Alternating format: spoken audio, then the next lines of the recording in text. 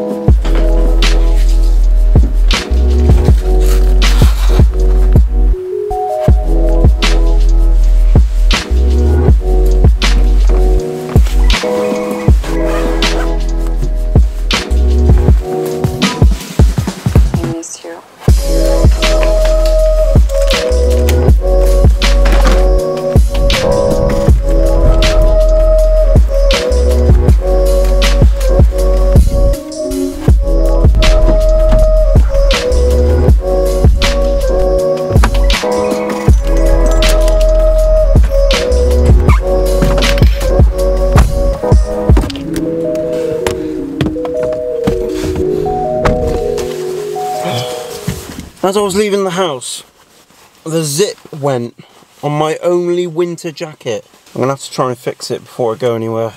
We went for a walk the other day um, up to a reservoir, and my wheels felt like they were dragging, which was a bit strange because I'd uh, recently pumped them up, pumped them up in the morning, and then it felt like it was the front left wheel kept dragging on the front. It kept making me veer to the left.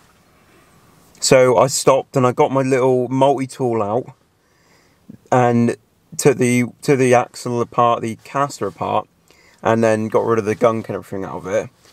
And I thought that would fix it, and it didn't seem to. It was like it just felt a bit odd still. Like it just felt like someone was dragging something caught in the wheel.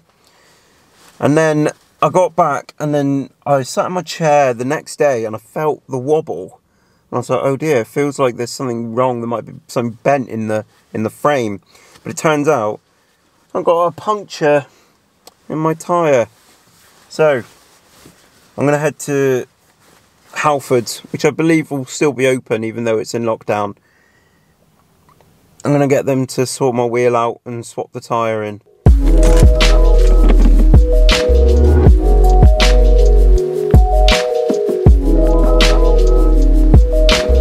Right, so I'm here at Halfords, and after about, I don't know, probably about 15 minutes of just messing with this, I managed to fix the zip. So basically what happened is that it'd come open, like, put it together now. God, I've ruined it. But it just come open and then it, it was just up to the top. The zip was stuck and then the rest was open. Um, and I don't really have the funds to start buying new coats. It's my only really proper winter warm coat, so um, anyway, I'm gonna head in here and uh, get. Hopefully, I can get my my tire sorted.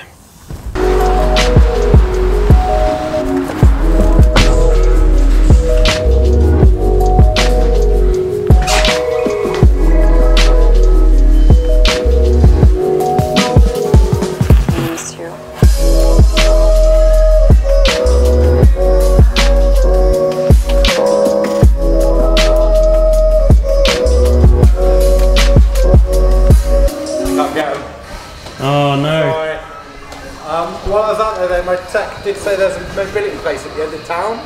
Okay. if they're worth a try. I'm gonna run out. Alright, cool. Just on my Talk you so much, I can't cut his.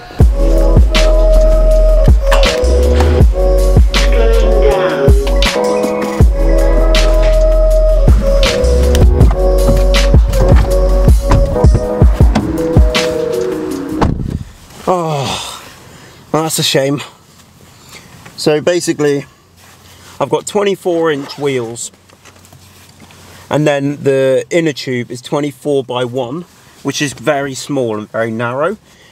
Uh, where they do lots of 24s, and then 24, uh, but it's 24 by 1.7, which is way too big. And the only ones they had in that are the regular valves. But I use Presta valves, which are basically sport valves, and it's a higher pressure, um, which are better for wheeling, obviously. So I'm not able to get it done today, but I'm going to. Uh, there's a few places that they suggested. Um, it's really interesting though because I feel like it's hard to hide the camera, so it's hard to pretend that I'm not filming things.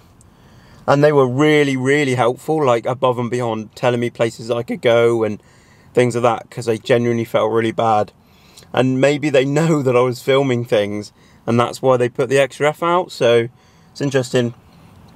If you can get the size you want, though, they're brilliant. They they always they they deliver. So it's just a shame that I didn't have the size. So next time, it's a case of me buying the inner tube and then taking it to Halfords because not enough people use the size that I need. Anyway, I'm going to get myself a coffee and then I'm meant to meet Becky for a walk, but it is wet. So the burst tyre saga continues.